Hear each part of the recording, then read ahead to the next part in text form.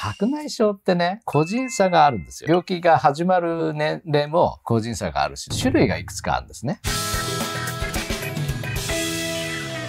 みんなで生きよう。100年チャンネル。どうも梶原です。高見です。よろしくお願いします。目が霞むとか二重に見えるとかその他には眩しいとかね、うん、視力が落ちたなとかなんか最近逆に老眼が少し良くなってきたなとかね。そんな症状の方っています？これね何の症状だと思います？よくあるドライアイとか、うん、ドライアイもね霞んだりしますよね、うん、まあねこれね白内障の症状ですね。えー、そうなんですか、うん、そんぱい症状あるんです、ね、そう白内障ってね個人差があるんですよいろいろ。病気が始まる年齢も個人差があるしね。それから白内障って言ってもね種類がいくつかあるんですね。それもね人によってだいぶ違うんですね。白内障っていうのは一つの病気なんですけど治療法もまあほぼ一つなんですけど人によって症状は違うんですよね。霞んだりとかねぼやけるものが二重三重に見えるとかね眩しいとか近くが前よりよく見えるようになったとかね。そういった症状がある方はですね白内障かもしれないんでねこの動画最後まで見てくれると眼科行った方がいいのかなどうなのかなメガネ屋さんでいいのかなっていうことはわかると思うんですね。最後はちょっと見てください。お願いします。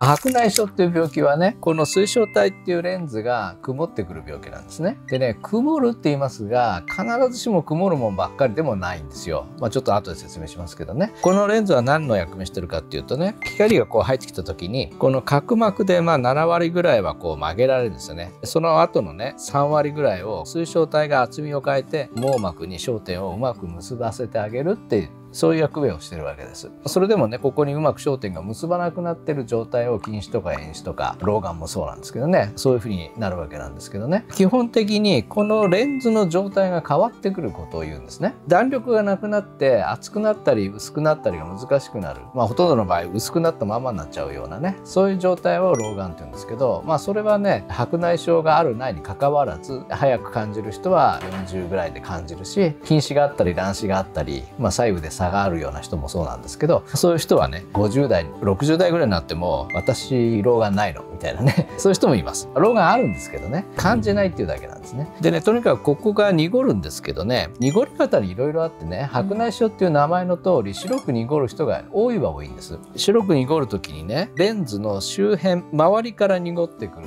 場合ね周りのことを皮質っていうんで皮質白内障っていうんですけどこの真ん中を角っていうんですけどね、はい、角が濁ってくるやつを角白内障って言ったりとかねこの袋があるんですけど袋のことを脳って言うんですけどねまあ前が前脳後ろが後脳って言うんですけどね脳の直下にできるやつね。後脳か白内障とか前脳か白内障とかね、まあ、そういう言い方もするんですよ。でね中心部が濁ってくるやつは白くならないで黄色とか茶色になってくる場合があるんですね。えー、そうなんですか？面白いですよね。濁ってはいないので白くなったりとか眩しくはないんですけどサングラスをかけたような状態になるんですよね。要するに黄色とか茶色とかのサングラスをかけてるようになっちゃうから光が入ってくる量が減ってくるんですね。そうすると夜見えにくくなってくるんですよ暗いと。そこが濁ってくるとね光が余計曲がるようになってね近視が進んだりするんですね。そうするとねさっき言ったように老眼が近くが見えないわけですけど近くがより見える傾向の屈折状態になってねあなんか老眼が軽くなってきた治ってきたみたいなねそういうふうに感じることもあるわけです、まあ、とにかくね白内障っていうのはここの病気ですね。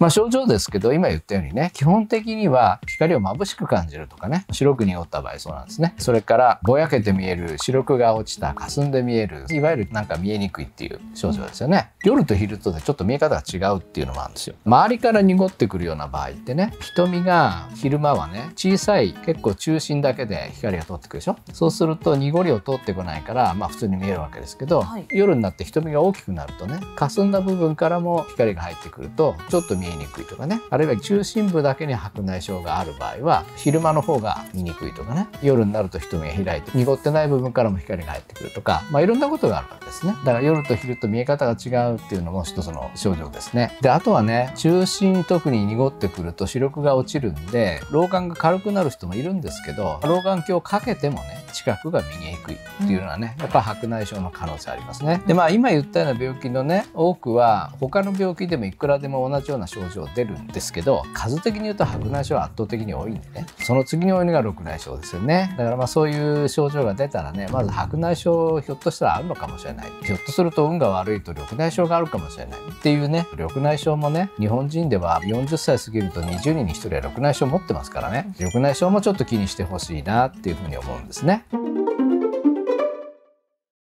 白内障になる理由なんですけど、はい、ほとんどはこれ加齢による変化ですよ。要するに年を取るとお肌でシミが増えたりとか、シワが増えたり白髪が増えたりとかね、まあ、同じように白内障っていうね透明だったレンズが濁りができてくると。そういう病気なんですね。あとはね例えば子供の頃に目を強くぶつけて何十年も経ってねその影響がそっちのぶつけた目だけに出てきて濁りが早く出てきたとかね、あるいは特殊な病気で特殊な目薬をしていて白内障が早く進んだとか。あとはね血糖の高い人ですね。血糖が高いと体のいろんなところでタンパク質の糖化っていうのが起こるんですよね。糖がくっついちゃうんですよタンパク質に。そうするとねタンパク質が構造がおかしくなってきてね水晶体にはクリスタリンっていうような特殊なタンパクがあるんですけどね。構造が乱れて透明性が落ちちゃうとかねそういうようなことがあって糖分の高い人糖尿病は特にそうですけどそういう人はやっぱり白内障も進みやすいですね。糖に関してはいろいろ説明してますけど体の中で起こる糖化つまりね37度っていう温度でもタンパク質に糖がくっついちゃうそれから食べ物として入ってくる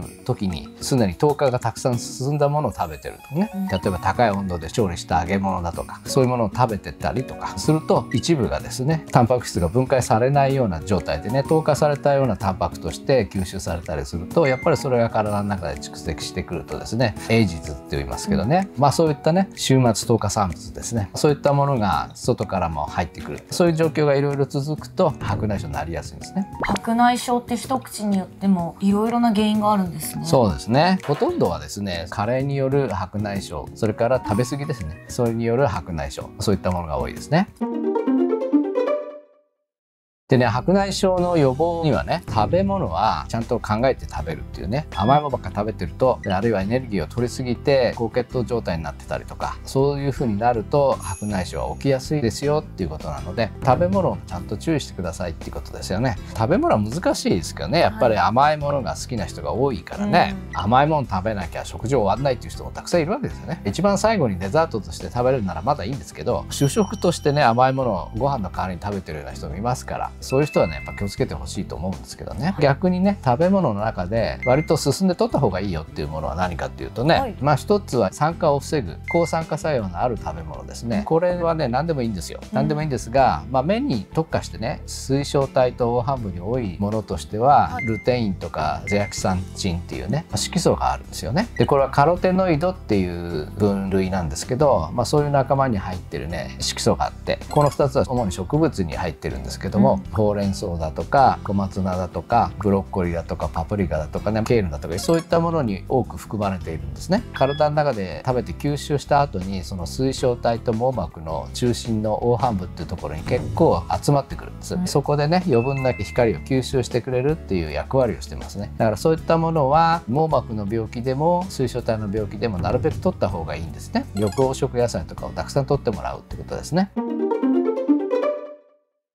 食べ物以外で遅らせる作用のあるものとしては目薬ありますね。進行予防の目薬って言って、一旦濁っちゃったものはね、よくはならないんですよ。クリアに元通りにはならないんですけど、目の中でね、糖化も含めて酸化反応っていうのが起こってるわけですね。タンパク質が酸化するわけですけど、光による酸化とかね、それから糖による酸化とかいろいろありますけど、そういうものをなるべく抑えるっていう意味では、今一番一般的なのはピレノキシンっていう目薬なんですけどね、まあそれを1日何回かつけてもらうとかですね、そういう白内障がが進むのを極力予防するっていうようなお薬がありますねいやあんなもん効かないよって先生がいますけどつけてると調子いいですっていう人も多いしね目の表面にとってもね他に目薬たくさんしてる人以外はですねそういう目薬してると調子いいっていう人は多いんですね使ってみる価値はあると思います患者さんからもよく聞かれるんでね食べ物以外にサプリメントあるんですかっていう話なんですけど、うん、サプリメントについてね全般に言えることなんですけどあんまり極端に価格の安いものはちょっと心配なものがあってねサプリメントってね食べ物だからカテゴリーがね薬じゃないんですよ。だからある期間飲んだら終わりっていうもんじゃないですよね。ずっと飲み続けないと意味がないでしょ。ですからねそういったもので長期飲み続けて問題がないような作り方問題がないような量がちゃんと入ってるってね。で食べ物だから規制が緩いんですね。結構成分表示通りに入ってないものも多いし、えー、そうなんですか？そうなんですよ。それから賞味期限も怪しいのがあるからね、え。ー、ですからねあんまりね値段が安いものっていうのはねちょっと一応考えてからの方がいいと思いますね。それはねいろんなサプリメントについて言えることですね、はい、私もね調子が悪い時にサプリメントね市販代ずいぶん安いのを買って飲んでたことあったんですけど全然効かなくてね。でやっぱりちゃんと質の高いものにしたら23か月飲んでたらやっぱちょっと体調良くなったっていうかことがあるんですよ。だからまあそこは考えた方がいいと思いますね。そういったねクリニックでしか買えないようなある程度質の高いものを扱ってるメーカーっていうのはいくつかあります。でうちの概要欄を見ていただくとリンクはいつも貼ってありますからね。特にそのメーカーのものがもしお気に召すようであれば使ってみたらいいかなと思いますけどね。あとは抗酸化作用っていうことで言うとね、はい、いろんなものがこれ入ってくるんですよ。例えば皆さんよくご存知のビタミン C とかね。目の中はねとにかくビタミン C の濃度がものすごい高いんですよ。えー、そうなんですそうなんです。もう四六時中光にさらされてる臓器ですからとにかく酸化されちゃうんですあちこちね、うん、それを防ぐためにビタミン C の濃度は血液よりもずっと濃いんですね。ビタミン E とかも防水に溶けてね水晶体にどれだけ移行するかっていうのはねちょっと問題はいろいろあるんですけどとにかく体の中でね酸化を防いでくれるようなものとしてはビタミン E もね有名ですよね。あとはねポリフェノールっていうねこれも植物性の色素がほとんどですけど数が多いんですよ種類が。5000種類ぐらいあるって言われてるんですけどね。そういったポリフェノールですね。例えばコーヒーのポリフェノールとかカカオのポリフェノールとかワインのポリフェノールとかいろんなポリフェノールあるんですよね。そういったものはねほとんど全て抗酸化作用が強いですからコーヒーはカフェインが入ってるからどうのとかねワインはアルコールが入ってるからどうのっていうのももちろんあるんですよ。ただそれはアルコールが弱い人がワインからポリフェノールを取ろうとしたら無理ですよね、チョコレート嫌いな人がねカカオからポリフェノール無理ですよね。その人によってね何が適してるかっていうのは人それぞれですからそういったものを取るとかあとはポリフェノールもねいろんなポリフェノールがあのサプリメントであると思いますからね。そういうものからとってもいいと思いますね。まあ、あとはですね適度な運動ってねこれまあよく簡単に言うんですけど適度な運動をすると2ついい効果があるんですよね。1つはね血流が良くなるってことですね。全く運動しないよりは血流が良くなってね血流の確保っていろんな病気に大事ですね。緑内障とかも大事だと言われていますし健康のためにはやっぱり適度な運動ですよね。それから適度な運動することによって取りすぎたカロリーを減らすっていう意味もありますよね。そうするとま血糖が上がりすぎないように。そういった意味で適度な運動はいいですよっていうことですね。運動とは逆に血管に対して良くないものっていうとね喫煙ですね。だから喫煙もなるべくしない方が白内障のためにはいいですよ。まあ他の病気を持ってる方もそうなんですけどね。とにかくいつも言うようにね血管が健康でないと長生きもできませんし例えば脳梗塞とか心筋梗塞とかいろんな病気を抱えながら生きていかなきゃならないっていうね、まあ、そういうことにもなりえますから私は長生きしなくていいよって思ってる人もですねやっぱり健康的にね病気なく暮らしていくためにはですね血管が健康でないとダメなので血管に対していいものをなるべく食べてもらって血管に対して良くないものはなるべく食べないしタバコだったら吸わないようにっていうことを考えてもらいたいなと思いますね。